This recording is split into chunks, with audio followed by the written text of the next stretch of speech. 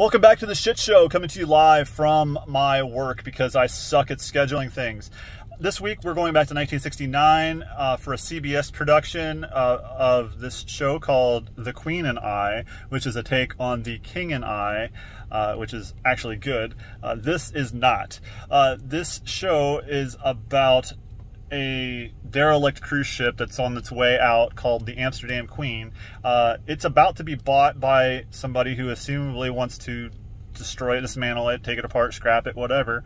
And the crew wants to keep it and keep it going so they can keep their jobs and stuff. So they want to put together schemes and plots to try to earn money so they can keep the boat moving.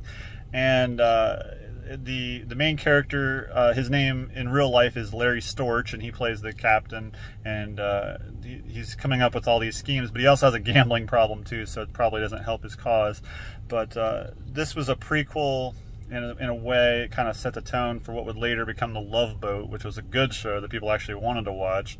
Um, this show ran from January 16th, 1969 to April 3rd. So that was all that people needed to do, basically to get from the Super Bowl to the beginning of baseball season, and we don't need to watch any more of that.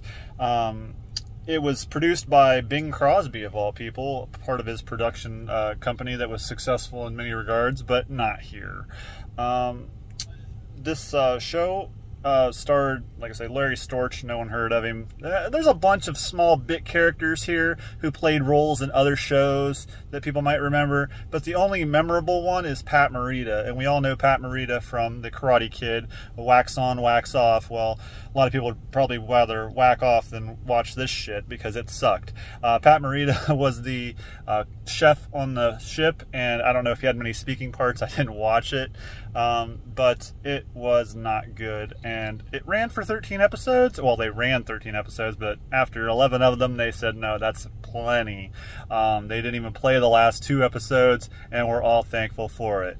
Uh, thanks for watching, and we'll see you next week.